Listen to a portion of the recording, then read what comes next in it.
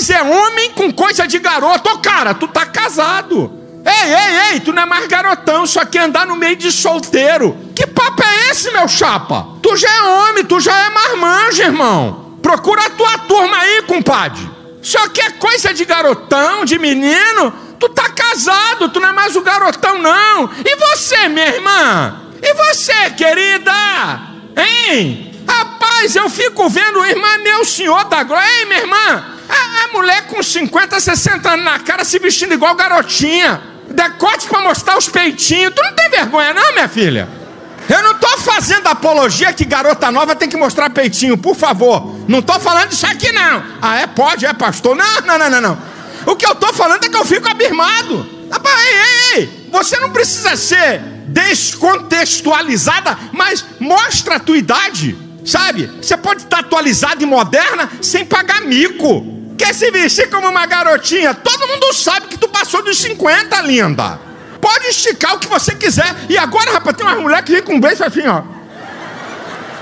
Parece até aqueles índios que bota aquele troço. A mulher vem com um beijo desse tamanho, rapaz. Todo mundo sabe que tu botou porcaria nesse beijo. E ao invés de ficar melhor, ficou pior, ficou ridícula. Uma bochecha aqui e a outra embaixo. Bochecha assim, ó. Não é assim. É assim. Todo mundo sabe que tu fez aplicação nesse troço. Tem uma bochecha desse tamanho e uma outra menor. É um mico desgraçado. Eu não, tô, não sou contra você fazer plástica, eu não sou contra nada disso, não, pelo amor de Deus, melhore.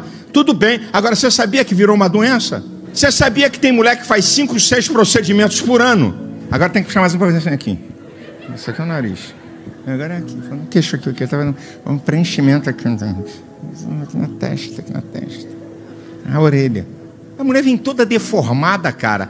Todo mundo nota. Minha filha, tu, é, tu vai pro carnaval, botou a máscara, porque você não é você, você é outra que está aí. Rapaz, um dia desse eu vi uma cantora, comentei até com o pastor Dilton. Eu vi uma cantora e falei: não é ela é outra. Porque eu conhecia a outra e a outra era melhor do que essa. Crente, evangélica. Não é ela, é uma outra. Ela está com uma cara que não é dela, é uma cara de não sei o quê, porque a cara dela não é essa. Ela era bonita, ainda tinha isso. Ela era bonita. Mas a mulher fez tanta pataquada que não é mais ela. Tem que saber viver em cada tempo, meu irmão. Ah, isso também com homem também. Mesma coisa. E você também, que está andando no meio de menina, você já é mulher já é uma senhora, já está casada, vai procurar a tua turma. O apóstolo Paulo diz em 1 Coríntios 13, 11: Quando eu era menino, falava como menino, pensava como menino, discorria como menino, mas quando eu passei a ser homem, eu deixei as coisas de menino. Me ajuda, Jesus. Não estou falando que você deve ser moderno, deve ser atualizado, não estou falando nada, não sou contra nada disso.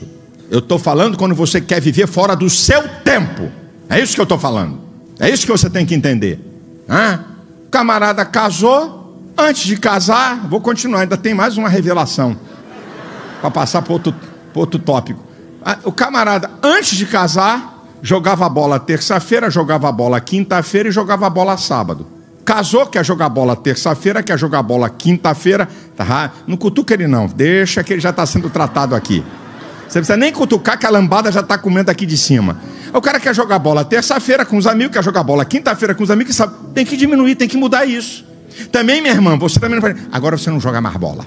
Aí é, é vai, sai do da lama para o tijuco, sai do zero para o mil. Não é isso. Mas, bom, agora eu tenho que mudar. Eu tenho uma mulher, eu não posso estar agora como garoto, como garotão, só para lá e para cá, e jogando bola, aí na praia, aí em clube, sei lá o quê. Mudou. Mudou o estilo. Cada tempo uma dimensão que você tem que entender. E para encerrar esse tópico e passar por outro, que eu já falei numa outra mensagem, mas vou dizer aqui, já que eu estou falando sobre o tempo do homem, o homem tem pouco tempo. O Salmo 103, versículo 14 e 15 diz: Ele conhece que somos pó, ele conhece a nossa estrutura e lembra-se que somos pó. Quanto ao homem, são seus dias como a erva, como a flor do campo, passando por ar do vento, logo se vai e o seu lugar não se acha mais. Ainda tem isso.